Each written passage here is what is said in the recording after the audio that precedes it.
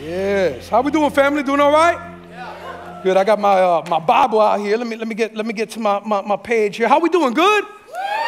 If I, have had not the, if I had not had the pleasure of meeting you, my name is Eddie Rivera, and I am privileged to be the location pastor here at our Winter Park location.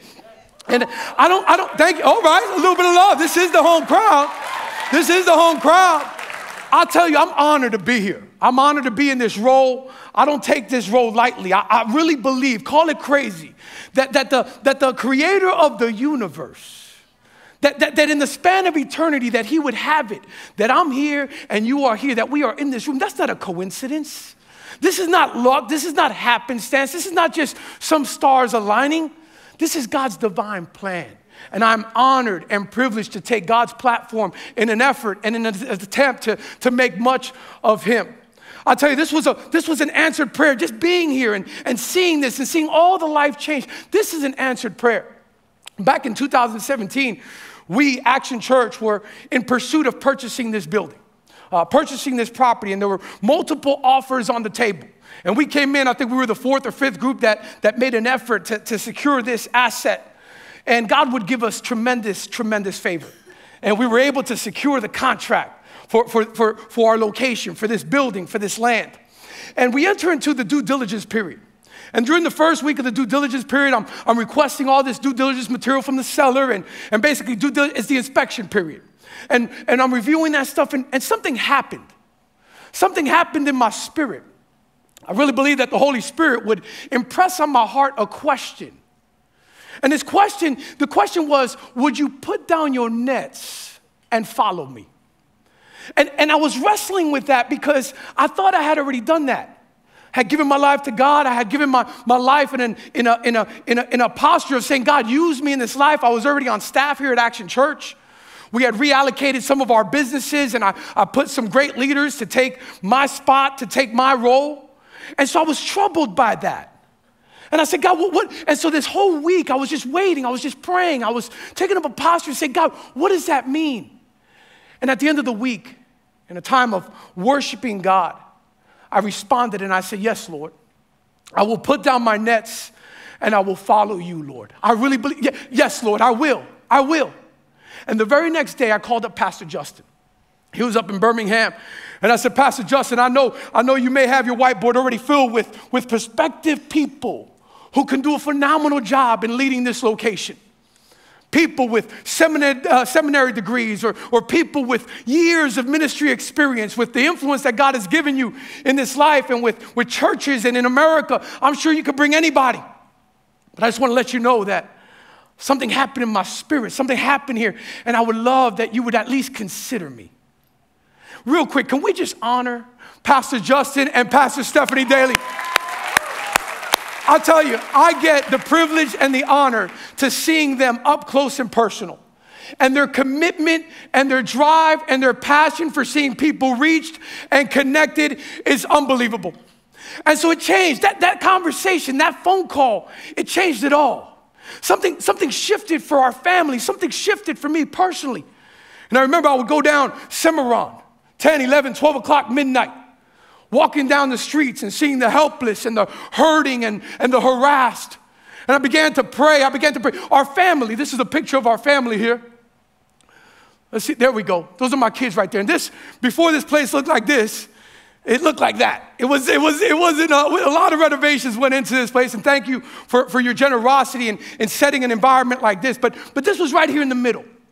And our kids, we would, I would put on my boom box. I don't even know if you call it that anymore, but, but the boom box.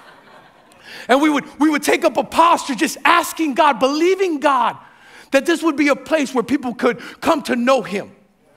That this would be a place where people would find freedom. That they would discover their design and discover their purpose, and that they would put the gifts and the talents that God has given them to use. And so this is an answered prayer. Four weeks of Songfest. Four weeks, we just finished that up. And I'll tell you, in four weeks, this location alone, over a 100 people went from death to life accepting Jesus. And real quick, real quick, if that was you that, that raised your hand, that said that prayer, accepting Jesus in your life, or you renewed your commitment to Him, uh, know that next week we're gonna do some baptisms here. And the Great Commission, it said, go, make disciples, and baptize them. Go, reach, make disciples, connect, and baptize. It didn't say baptize when, when, when you're not in a pandemic or, or, when the conditions are right. So don't worry about it. I saw the team. The team, they got me this face shield. I got a face shield that goes up here. My, my, my team, they got, they got some chlorine tablets for the pool. And so you're going to make it as you take your faith public. You guys excited to be here today? All right. I got this word in me. I got this word in me I'm excited about today. And if uh, you're taking notes, write this down. This is the title of the message Play the Hand. Play the Hand. Any poker players in the house? Okay, all right, all right. Thanks for your honesty. Okay, beautiful. Yeah, you're in church. It's okay. It's all right. Well, it's an illustration only, so, so please don't be offended. Don't send a bunch of emails in. Uh, whoever that is that keeps on sending the emails, please stop. Uh, and any poker players, let me explain the game. There's a dealer. There's a dealer, and there's players. And the dealer issues out cards. It's called a hand. And, and I'm doing Texas Hold'em here. So each player gets two cards. And then the dealer, throughout the, the, the, span of the game, he puts out three additional cards. Now, it's very important to know that the players have no clue or no control over the cards in which they receive. And at the end of the game, at the end of the process, the player with the best hand of five wins the game. Eddie, why are you talking about poker on, on God's platform? What, what, what, what's the point? The point is this poker and this life are very similar. You see, God has given all of us a hand. He's given all of us uh, uh, abilities and talents and attributes and personalities, and we are to use them in this life. The difference, however, unlike poker, this life isn't a game. And you will be held responsible. Responsible. You will have to give an account as to what you did with the gifts and the talents that God gave you. If you have your Bible, please turn to Matthew 25 as I further illustrate this point. Matthew 25, verse 14. This is the parable of the talents. And real quick, it's important to know there's 40 parables in the Bible. All of them, in some way, shape, or form, are tied to salvation. And this is a vivid depiction of the kingdom and what is going to happen one day. And so, real quick, we're going to go through this and we're going to read a little bit here. So, but pay attention. Tell your neighbor to stop touching you, and, and, and, and it's, it's game time here. Here we go. Uh, verse 14. Again, the kingdom of heaven can be illustrated by the story of a man going on a long trip. He called together his servants and entrusted his money to them while he was gone. He gave five bags of silver to one, two bags of silver to another, and one bag of silver to the last, dividing it in proportion to their abilities. Very important that God gives you things gives you this, these attributes, gives you these personalities and these gifts according to your ability. He knows you, He created you. Verse 16 The servant who received the five bags of silver began to invest the money and earn five more. The servant with the two bags of silver also went to work and earned two more. But the servant who had received the one bag of silver dug a hole in the ground and hid the master's money. One had five, one had two, one had one. The guy with the five did what? He invested it, he, he went to work. The guy with the two did the same. The guy with the one didn't. Verse 19 After a long time, their master returned from his trip and called them to give an account of how they had used the money. The servant to whom he had entrusted the five bags of silver came forward with five more and said, Master, you gave me five bags of silver to invest. He had an understanding of the expectation of the master, and I have earned five more. Look at the master's response.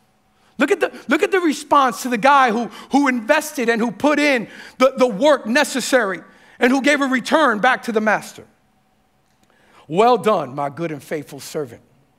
You have been faithful in handling this small amount, so now I will give you many more responsibilities. Come, let's celebrate together.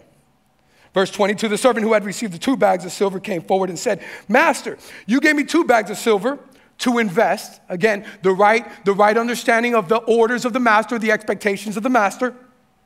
And I have earned two more. The master said, Well done, my good and faithful servant. You have been faithful in handling the small amount, so now I will give you many more responsibilities. Come, let's celebrate together. Wait up, he received the same praise and the same reward as the guy with the five, which indicates that it doesn't matter the amount of talents that you get, but it matters what you do with them. Verse 24 Then the servant with the one bag of silver came and said, Master, I knew you were harsh man, a harsh man, harvesting crops you didn't plant and gathering crops you didn't cultivate. I was afraid. I was afraid. I was afraid I would lose your money, so I hid it in the earth. Look, here is your money back. So, two things there with the servant with the one talent. And by the way, before you say, oh, well, he only had one talent, one talent at that time was over 20 years' wages. And, and you may be in here and say, I may not have something, but yes, you do. And you got plenty for this life. But, but look what happened here. He had a misunderstanding of the expectation of the master. And then he was gripped by fear. And there are some of us in here, there are some of us that are watching online, that we have a misunderstanding of who God is. And, and we're gripped by fear. We're gripped about what may happen if we step out and we go to work. Let's see how the master replied to the talent with the one, or with the, with the servant with the one talent. Verse 26 But the master replied, You wicked and lazy servant. If you knew I had harvested crops I didn't plant and gathered crops I didn't cultivate, why didn't you deposit my money in the bank? At least I would have had some level of interest on it. Which means that, that ignorance or, or, or your, your, your lack of understanding of who God is is not an excuse. Verse 28 Then he ordered, Take the money from the servant and give it to the one with the 10 bags of silver. To those who use well what they are given, even more will be given, and they will have an abundance. I need you to hear this right now. I need you to hear this. This is Jesus talking, by the way. But from those who do nothing, even what little they have will be taken away. Now throw this useless servant into outer darkness where they'll be weeping and gnashing of teeth. There's gonna come a time, family, and I really believe that I'm here to share this word right now with you. There's gonna come a time that you're gonna have to stand before the Father, before the Master, and you're gonna have to give an account to what you did with the gifts and the talents that God gave you. There's gonna be two questions that are asked of you on that day. And there is a day that, that, that your time here on this earth will expire. And you're gonna, you're gonna be asked, What did you do with my son? And we'll talk about that later. And what did you do with the gifts and the talents that, that I gave you? And I have four points. If you're taking notes, I have four points right here. Check this out.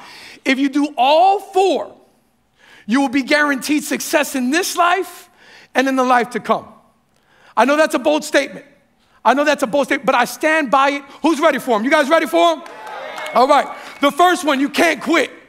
You can't quit. Hey, let's be real. This life is hard. This life is difficult. Right? This, we, we were just, I was just talking about those paragraphs. This is, this is a challenging life. But you have to develop a mindset. You have to develop a posture that no matter what comes your way, that quitting, quitting is not an option. Because it's not over. It's not over until God says it's over. Can anybody tell me who this guy is right here, this handsome fellow? I try to match up my, my gear with him today. Who, well, let's put this on the screen here, family. Let's put this on the screen right here. Well, my, there he is. There he is. Can anybody tell me who this is? Online, online. Go, go ahead, put it in the comment section. Nobody can tell me who this guy is.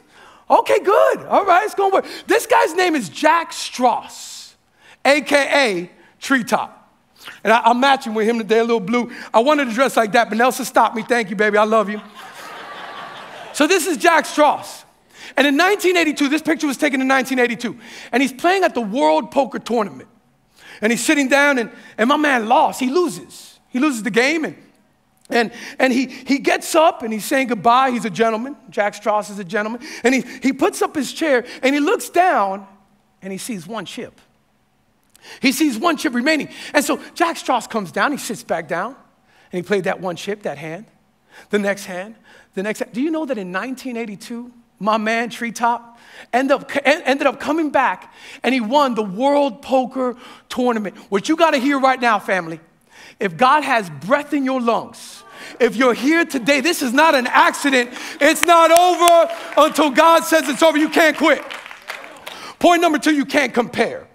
And Pastor Justin did a phenomenal job week three of Songfest, so I'm not going to elaborate here uh, too much. Uh, but, but I do want to uh, uh, hit on a couple of things as far as comparison. Comparison is the thief of joy. Write that down. It's the thief of joy.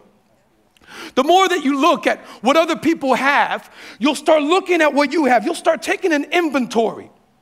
And what will happen is joy will begin to leak. Joy will begin to escape as you compare and look at what other people have instead of what you have. It's also the killer of uniqueness. It's the thief of joy, and it's also the killer of uniqueness. You start looking at other people and say, Man, I wish I could speak like him. I wish I looked like that person, or I wish I looked like her, or I wish I could do this or do that. And little by little, I don't know if there's any MMA fighters in the house, but a rear naked choke comes up. And your own uniqueness, you start to become a copycat. And God didn't make you to be a copycat, He called you to be you. He called you to be you. And so we just can't compare. What would have happened had the guy with the two? Imagine that. And he would have started complaining, but Master, Master God, I don't, why did I only get two? Why didn't I at least have three? At least have four? Why'd you give him five? You can't compare. You can't quit. You can't compare. The third one is you have to be careful on who guides you. You have to be careful on who guides you. Any uh, basketball fans in the house? Anybody? All right, basketball. You ever see a, a game my man LeBron James, he, he's coming down. He's, he's, he has the full court. He's coming down the, the, uh, on the fast break. And all the time, it always happens. There's somebody on the sideline.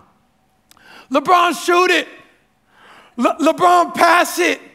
Hey, number 28 is open. Does LeBron James listen to him? No, it would be foolish. That would be stupid. But how is it? How is it that many of us, will take guidance and take direction from people who have zero context, zero experience. How is it that we open up our hearts and we are fully transparent with people we don't even know, or better yet, people who are not even for you? I read a book, and I don't, I don't, I don't, I, my, my, my mind, I don't read too many books, but this book I read, and it was an amazing author, amazing communicator, Pastor T.D. Jakes. He was talking about three different buckets that people fall into one of three different buckets in this life. And, and these people you're gonna come in contact with as you're navigating this journey. The first bucket are comrades. Write that down comrades. Comrades. Now, comrades are not for you, nor are they for what you are for. Comrades are only in your life so long as you can help them have a win, a victory against someone or something. An example of this is a neighbor.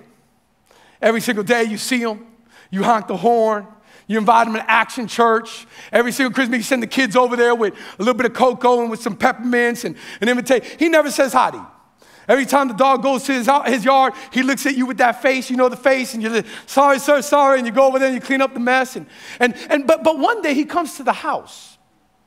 Hey, Eddie, how you doing, man? Uh, can I have a word with you? Yeah, yeah, yeah, come on in, have a seat and you start talking, and man, you start gelling with the guy, man. You're like, okay, this is my boy. This guy could be my boy here.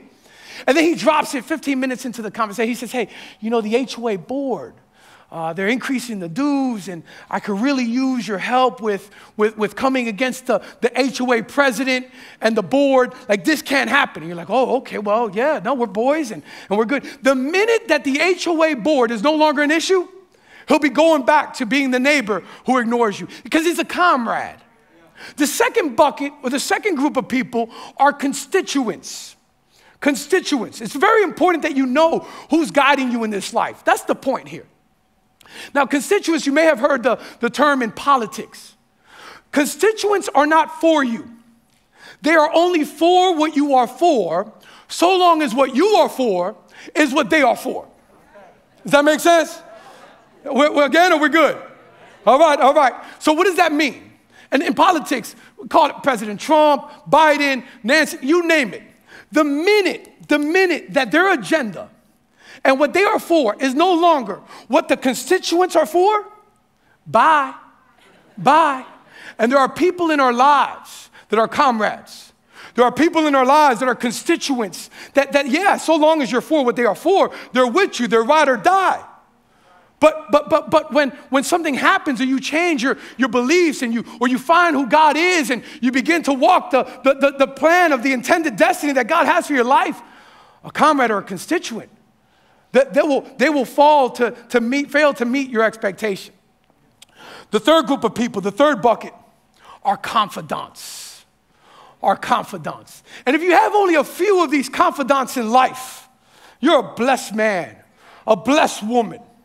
See, confidants, they're for you. Like when your daughter's in the hospital, they come and see you. When, when, you're, when you're waiting on God for a miracle, they're praying for you. When, when things are going bad and, and they're in your corner, they are for you. When you cry, they cry. When, when you win, they're not jealous. They're happy for you. They celebrate with you. And you know what? If you don't have any confidants in your life, this is a great place where you can find them. I'll tell you, all the confidants I have in my life, I found them right here. We just kicked off our fall group semester. And I'll tell you, if you don't have that, join a small group. There, there are people who will pray with you. I was just talking to Louis Lugo, our, our prayer coordinator, yesterday. These guys, 12 guys coming together, they don't even know each other yet. Week one of, of, of the semester, praying for each other. Looking out, who do you have in your corner that is standing with you? You can't quit, you can't compare, and you got to be careful on who guides you. And the fourth point, the most important one, and real this is this is it though. If you don't get this fourth one, it's impossible to do one, two, or three. And that is you need Jesus. Uh oh. I know it's a Jesus juke pastor. Here was I, I, I get it. I knew it was coming. But, but, but the reality is, apart from him, you could do nothing. John 15, I am the vine, you are the branches. Apart from you, you could do nothing. You see, apart from Jesus, you're gonna quit.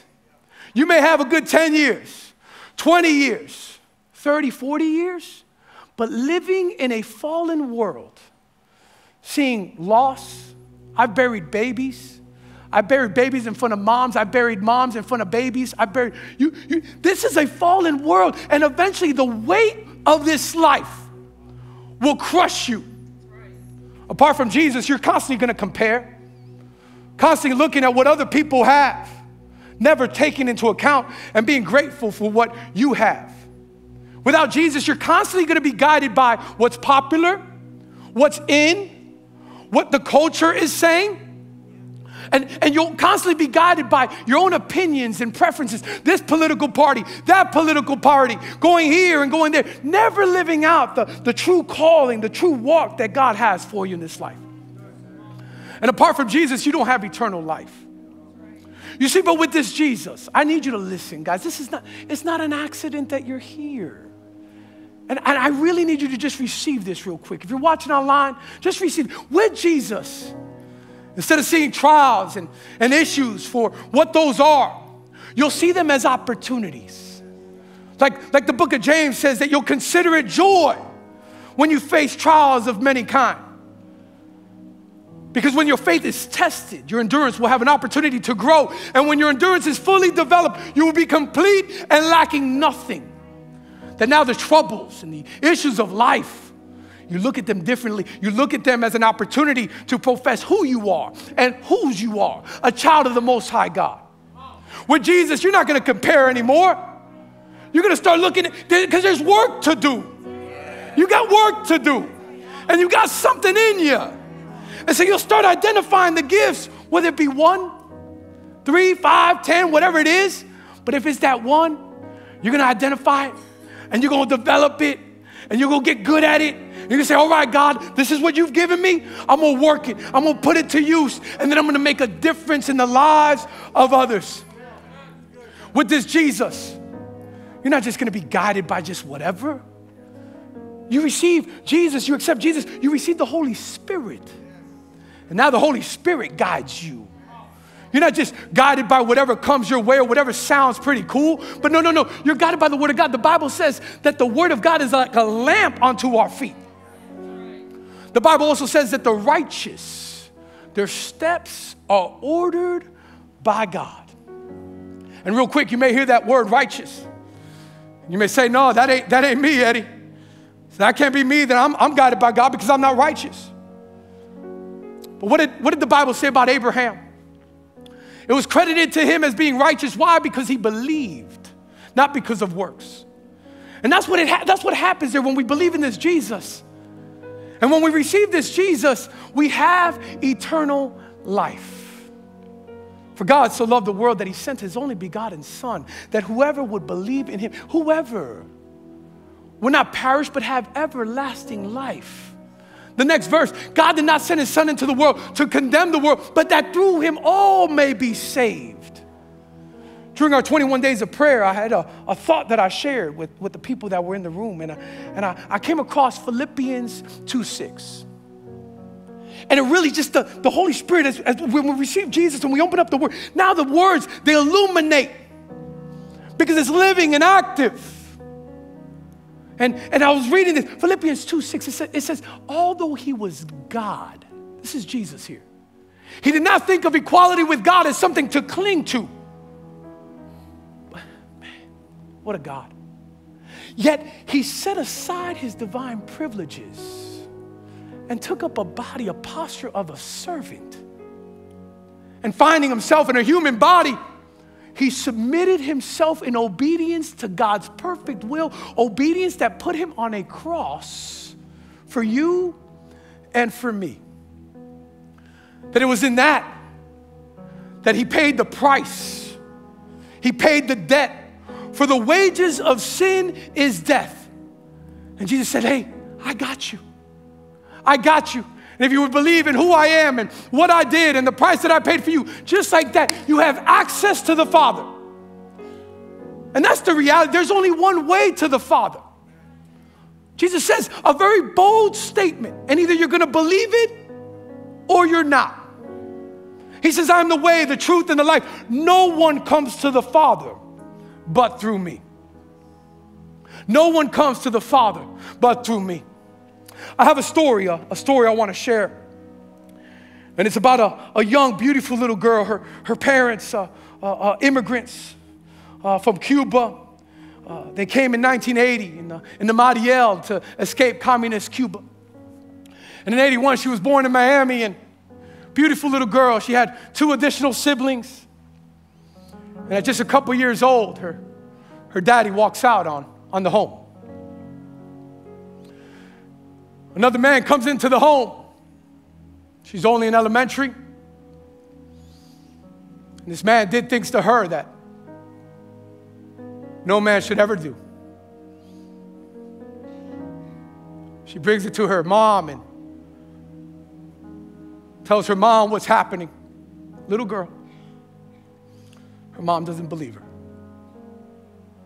She gets older brings it to her mom again and says, Mom, either it's him or me. I, like, this is happening. And her mom, her mom chooses him. She goes out of the house and living with other family and, and, and meets this boy.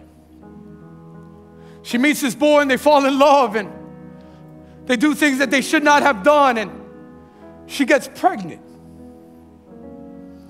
And her boyfriend convinces her, her boyfriend persuades her, her boyfriend, uh, he, he convinces her and persuades her to have an abortion. She was devastated. Devastated. But one day, one day this girl found Jesus.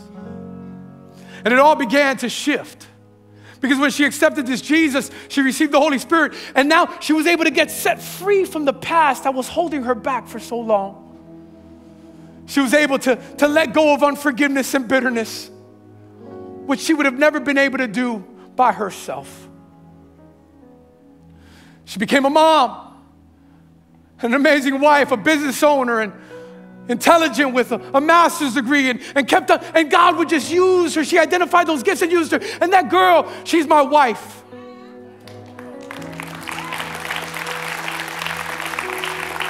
And I just want to tell you that I am so blessed to have you in my life. I thank God for you daily, for the woman that you are, and how you represent Jesus in this life. And that boy, the 18 year old boy who premeditated the murder of his first child. That was me. That was me. But I too, one day, at my lowest point, addicted to drugs, making horrible decisions, When everybody had abandoned me, all the comrades, all the constituents had left me, no confidants in my life, I called out to this Jesus. And he saved me. He heard me.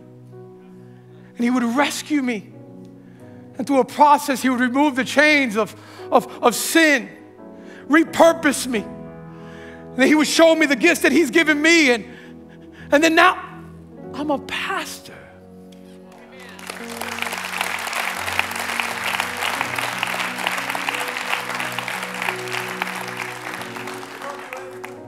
Love you too, my brother. Love you too. Maybe you're in here and you've taken an account as to the cards that you've played along this thing of life. You say, man, I, I wish I could have that one back, and you can't. Well, I, I wish I would not have played that one. Had I had that one back, I would have been okay. I would have been all right. I should have never let that person out of my life. I should have never done this or that. You can't do anything about that. But one thing you can do is receive the free gift of salvation, this Jesus who changes it all. With every head bowed and every eye closed, I want to give you the opportunity right now to receive this Jesus. Or maybe you're, you're in here and, and, and you've accepted Jesus in the past, but you've never truly took an account to what gifts and talents He's given you. And if you were to face the Master today, you would not be able to give an account to what you did. You wouldn't be like the first two servants. And that today there's this renewing of, a commitment that you're going to invest, that you're going to work so that He can be glorified and that you can make a difference in this life.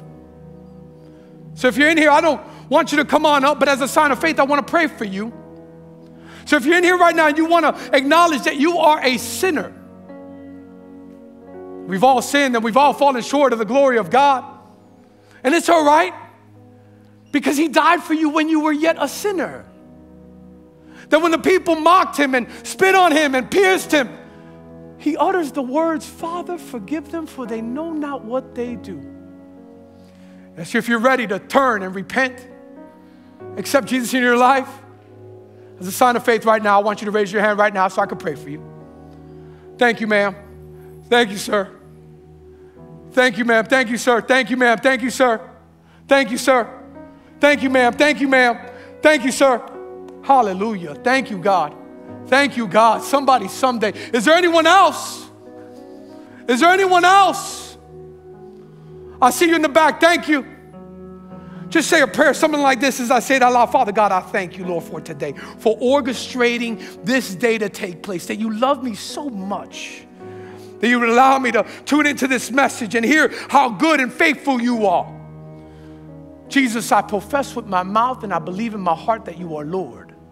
Come into my life, make me different, that I will have the endurance to run and not quit. That I will have a, an understanding of what I have and not look to compare. That I will be guided by the Almighty God, taking advantage of the opportunities that you present me with. And that on that day, I will hear, Well done, my good and faithful servant. In the name of Jesus Christ, I pray. Amen and amen. Come on, let's give God some praise in the house.